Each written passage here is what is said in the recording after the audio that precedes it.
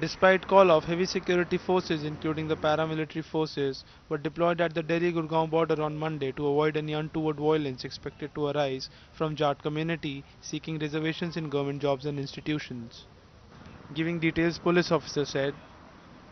We have all elaborate arrangements uh, at Rajokri border uh, as per the orders of uh, police headquarters and senior officers.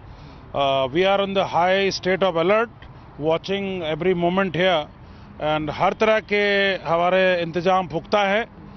lot of reserve forces there in the border and हम नज़र बनाए हुए हैं and situation अभी बिल्कुल normal है